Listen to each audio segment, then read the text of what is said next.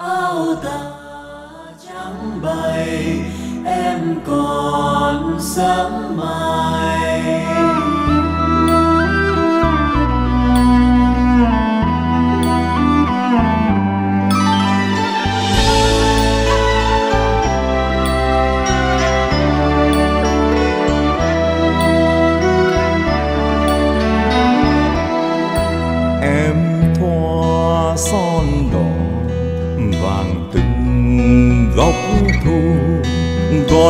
Dây nhỏ nhỏ dạ sâu.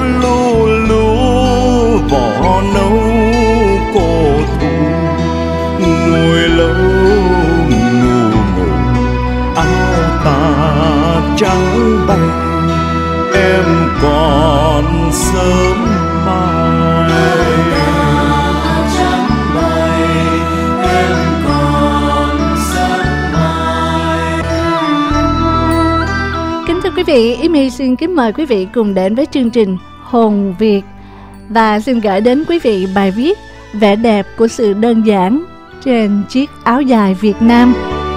Bài viết được đăng trên trang Vinacircle Media của tác giả Diệu Vân.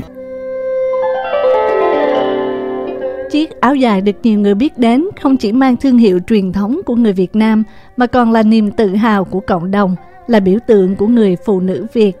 Chiếc áo dài kết hợp với quần dài được mô tả trong những bài hát, câu thơ và là nguồn cảm hứng của rất nhiều nghệ sĩ, họa sĩ và nhạc sĩ thuộc mọi thể loại. Trải qua quá trình dài thay đổi đáng kể, áo dài vẫn là sự lựa chọn thời trang của người phụ nữ Việt Nam trong nhiều dịp lễ đặc biệt. Thật không khó để bắt gặp hình ảnh chiếc áo dài ở Việt Nam ngày nay. Những cô gái trung học với bộ áo dài trắng thước tha trên đường tới trường vào mỗi buổi sáng. Hay bạn cũng có thể nhìn thấy những ảnh trang phục này ở nước ngoài với những người phụ nữ ở mọi lứa tuổi trong bộ áo dài nhiều màu sắc và hoa văn khi đi lễ nhà thờ hay cầu nguyện ở đền chùa, các lễ hội hay những dịp đặc biệt. Nhiều nghiên cứu đã đưa chúng tôi trở về với cuối thế kỷ thứ 19 dưới triều đại chúa Nguyễn Phúc Khoát, người cai trị vùng đất phía Nam Việt Nam, đàn trong. Chúa Nguyễn muốn tạo nên sự khác biệt giữa vòng ông cai quản với vùng của chúa Trịnh, đàn ngoài, nơi người dân mặc quần áo từ Trung Quốc. Chúa Nguyễn muốn người đàn ông và phụ nữ ở đàn trong mặc quần dài với chiếc áo choàng ở ngoài. Phần lớn các nhà sử học đồng ý rằng chiếc áo dài đầu tiên có thể xuất phát từ trang phục của cộng đồng người Chăm. Những cư dân gốc này được gọi là miền Trung Việt Nam. Những chiếc áo dài đầu tiên khá rộng rãi và xô xe, vì thế nó có thể sử dụng được cho cả nam giới và phụ nữ. Vào cuối thế kỷ thứ 19, đầu thế kỷ thứ 20, áo dài được thay đổi có 5 tà được gọi là áo ngũ thân.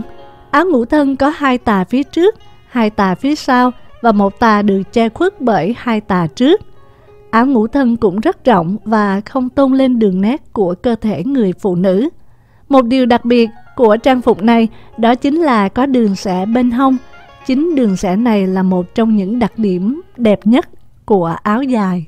Vào những năm 1930 đến những năm 40, Việt Nam trở thành thuộc địa của Pháp. Áo dài tiếp tục thay đổi.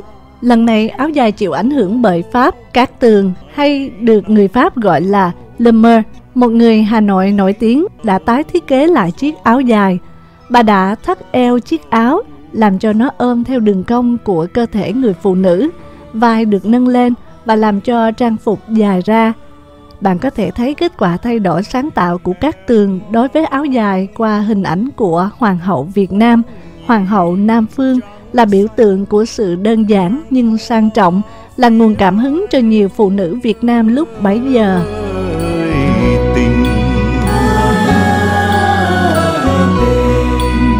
Cuối tuần đi phố, em mang giày hồng, cọng rau trắng non. Ơi, xinh. Cội cây nuột nà tương rằng hoa huệ nhưng mà tiểu thư ơi xin Năm 1958, Trần Lệ Xuân, vợ của nhà cố vấn chính trị cho anh trai mình là tổng thống thời đó, khởi xướng kiểu áo dài cổ thuyền khoét sâu với tay áo ngắn đã gây ra nhiều tranh cãi. Đã qua đi những chiếc áo dài rộng rãi và xô xe, áo dài hiện đại được thiết kế với các tông màu và phong cách khác nhau, được điều chỉnh phù hợp với phương Tây nhưng vẫn giữ nguyên được nét trang nhã truyền thống vốn có của nó. Ngày nay, mặc dù áo dài có ảnh hưởng từ phương Tây, tuy nhiên trang phục này tiếp tục đại diện cho văn hóa và truyền thống của người phụ nữ Việt Nam, mặc cho có sự khác nhau về gu thẩm mỹ và địa vị xã hội.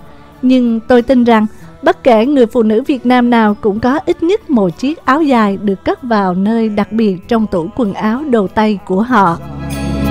đi hải sám cho anh nhìn ngẩn ngơi Trong cuộc thi Hoa hậu quốc tế được tổ chức ở Tokyo vào năm 1995, áo dài được chọn là quốc phục đẹp nhất. Trải qua nhiều thế kỷ với nhiều lần cách tân, chiếc áo dài trở thành trang phục kết nối những người phụ nữ ở thế hệ trước với thế hệ sau. Nó đem đến cho những người phụ nữ sinh ra và lớn lên ở nước ngoài một bản sắc đặc trưng của người Việt. Khi một người phụ nữ mặc vào bộ áo dài của họ, cũng khoác lên mình hình ảnh người mẹ, người ba và cả những người phụ nữ ở thế hệ trước.